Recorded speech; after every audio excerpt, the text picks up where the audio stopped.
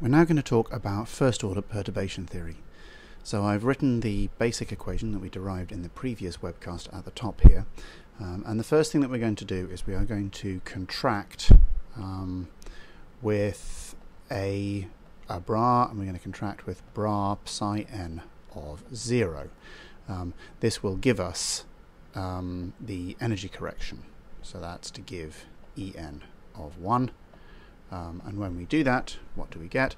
Well, we get um, bra psi n of 0, h hat 0, ket psi n 1, um, plus we now have bra psi n of 0 acting on h prime psi n of 0, um, and that's equal to psi n of 0, en of 0,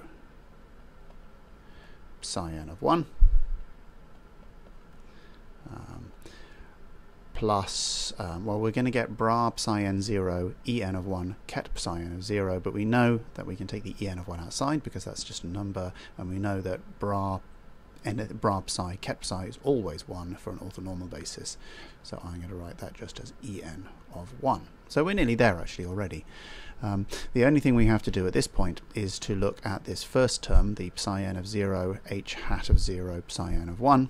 Um, and what we can do is we can actually notice that psi n of 0, uh, h 0, psi n of 1, um, is equal to psi n1 um, h hat of 0 psi n of 0 star. Um, we can write that because h0 is Hermitian um, and that's equal to psi n of 1 um, e0 or en of 0 um, psi n of 0 um, because we've just acted with h0 on psi 0 um, and that is equal to, I forgot the star there, let's remember the star. Now E is real because it's an observable, um, so when we take the complex conjugate again, we find that that's equal to um, En of 0, and then we end up with bra psi n of 0,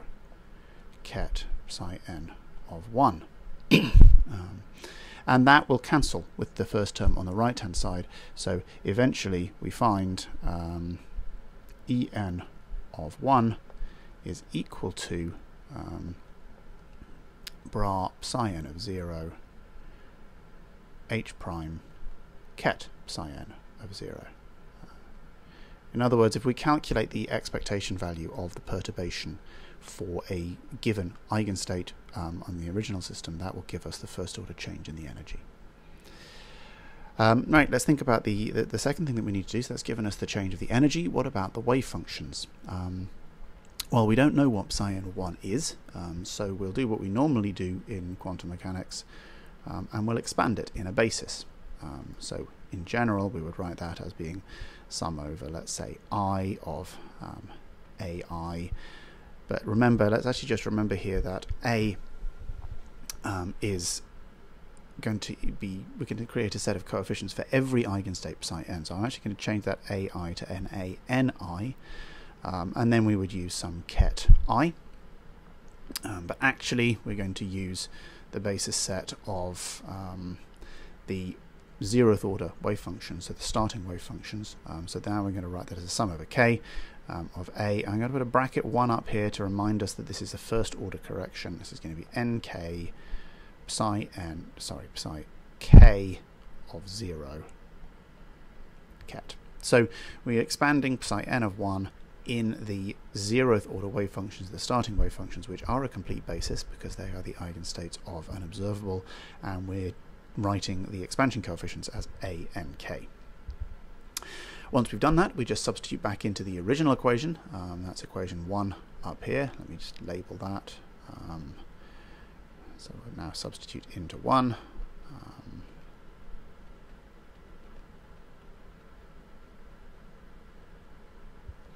and what do we get? Well, um, we find that we have H0 um, acting now on the sum over K of AN 1k um, psi n of 0 plus um, h prime acting on psi n 0 is equal to en um, of 0 acting on, oh dear, that should be a sum, um, sum over k of a n k brackets 1 psi k 0 um, plus en 1 psi n 0.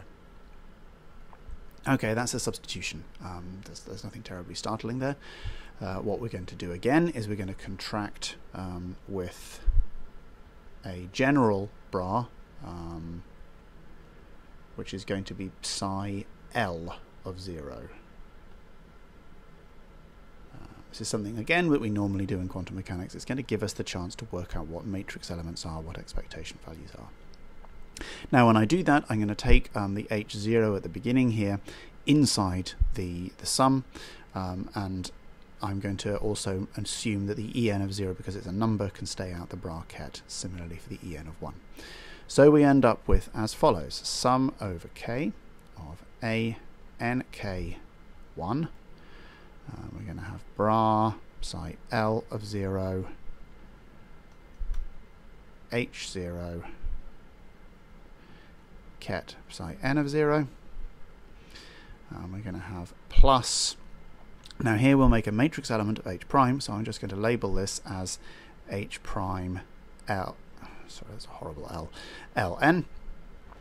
Um, and that's going to equal en of 0.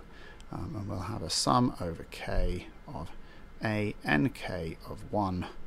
Um, and we'll have bra psi l of 0 ket psi k of 0 and we'll add on at the end here en of 1 and we'll have bra psi l of 0 ket psi n of 0.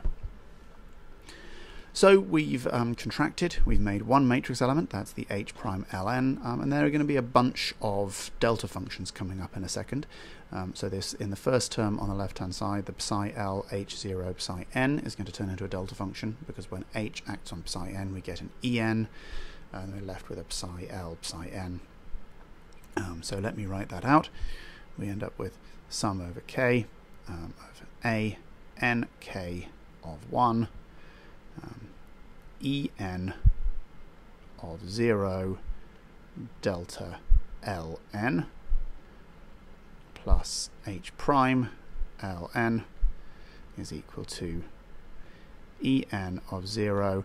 Um, now with the first term on the right hand side I'm not actually going to bother with the delta function because we know that psi l, psi k, so bra psi l, ket psi k is going to be a delta function so I'm just going to jump straight to the result which is a n l of 1 um, because if you think about it when we sum over the k's the only non-zero contribution will be the one where k is equal to l um, and at the end we're going to have en of 1 it's an n um, delta ln Okay, well, we are almost there.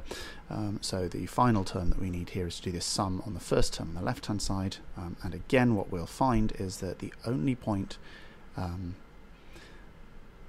have I made a mistake here? Yes, I've made a mistake. Um, so this should be a K and this should be a K. Um, so we have now, we're getting the sum of the first term on the left hand side um, and we're going to find that when K is equal to L we get a result. So now we're going to see that we end up with En of 0 um, A1 NL plus H prime ln is equal to en of 0. Um, that shouldn't be an L on the first term, that should be an L on the first term. A n L of 1 plus En of 1 delta Ln. Sorry, that got a little bit confused. Um, so that first term is an EL. there are two possible outcomes we have to consider. Um, so the first one is when L is equal to N. When L is equal to N, then the first term on the left-hand side cancels with the first term on the right-hand side, um, and we get the formula that En of 1 is equal to the matrix element H prime N N. Now that's just what we derived up above here. Um, in fact, let me label that as equation 2 um, here, and I will say that that's equivalent to equation 2. Uh, the second case that we have to think about is, well, when L does not equal N, um, and in that case, well, the right-hand side, the final term, the second term on the right-hand side disappears because delta is 0. Um, and we end up with the case where we have a NL of 1 um, is equal to h prime ln divided by en of 0 minus el of 0. Um, and so this gives us the formula for um, psi n of 1. So those are the formulae, the der derivations for first order perturbation theory. You'll see that the energy, the energy change due to the first order perturbation is rather simple. Um, it just involves the perturbing Hamiltonian and the unperturbed eigenstates of the state that you're considering. Um, the formula for the wave function is a little bit more confusing, is a little bit less helpful, um, but it's still not very confusing. So all we've got again is a matrix element between the two states with the perturbing Hamiltonian, and we derive by we divide by the difference in the energies. Um, obviously, if n is equal to L, that formula breaks down, um, and also if En is equal to El, which does happen for degenerate levels, that breaks down. Um, that's something I'll cover at another time.